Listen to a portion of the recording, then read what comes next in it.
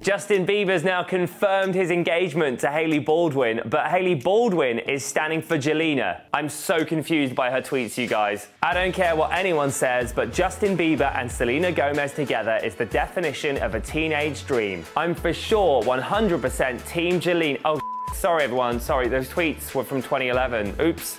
Stop the news. Also, LOL. I bet Hales is finding this as hilarious as the rest of us because, yep, 2011 Hailey is not here for 2018 Hailey, who's about to husb up the Beebs. Justin hit his Instagram to officially confirm the news last night, saying that he can't wait for the best season of life. Was gonna wait a while to say anything, but word travels fast. Listen, plain and simple, Hailey, I am so in love with everything about you. My heart is completely and fully yours, and I will always put you first. You are the love of my life, Hailey Baldwin, and I wouldn't want to spend it with anybody else. It's funny because now with you, everything seems to make sense. Oh my God, does anyone else want to sing Love is an Open Door right now? No? Okay. The thing I am most excited for is that my little brother and sister get to see another healthy, stable marriage and look for the same. You make me so much better and we complement each other so well. Can't wait for the best season of my life yet. Oh, sorry, sorry. I'm just so single, you guys. I'm so single. Anyway, Hailey's also confirmed thing, tweeting, not sure what I did in life to deserve such happiness, but I am so utterly grateful to God for giving me such an incredible person to share my life with. No words could ever express my gratitude. If any person present knows of any lawful impediment to this marriage, he or she should declare it now. Don't even think about it, 2011 Hailey. I'm 100% Team Beeb win. Jaylee. Uh, Bald Beebs? What is the official ship name, guys? Just a few weeks ago, it was announced that pop princess Ariana Grande was to marry SNL cast member Pete Davidson shortly after they made their relationship official. One unlikely person to share their thoughts on the upcoming nuptials is Selena Gomez. During a recent interview with Clevver at the Hotel Transylvania 3 premiere, the star was asked what her animated character Mavis would think about their engagement. She said she had no idea what her character would think, but she added that she personally thinks it's amazing and beautiful. I know what you're all thinking. When will she comment on Bieber's engagement to Hailey? Guys, Sorry to burst your bubble, but I don't think that's ever going to happen. Her fans, on the other hand, have been ever so vocal as they created quite an inappropriate hashtag, saying the star was now free from Justin. Ouch.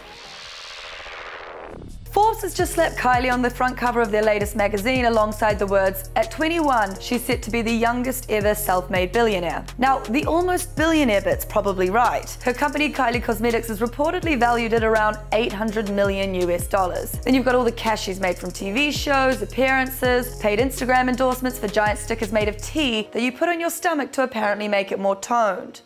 Yeah.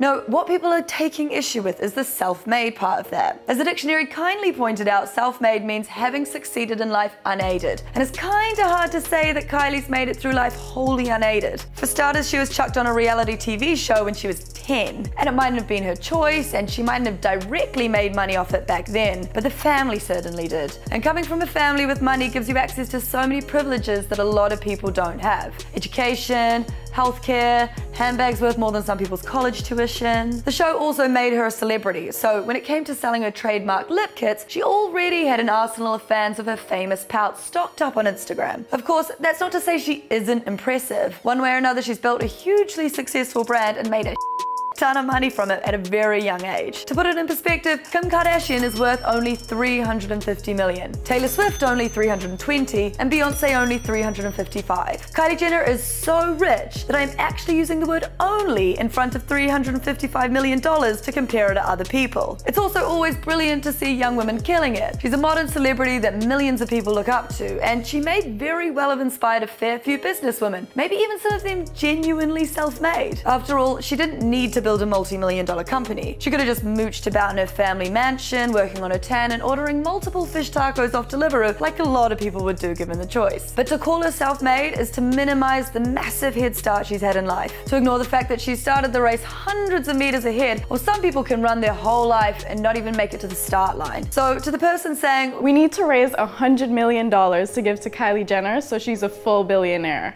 We really don't.